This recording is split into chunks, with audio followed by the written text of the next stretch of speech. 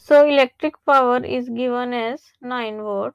Electric power is given as 9 volt. So we have to find energy consumed.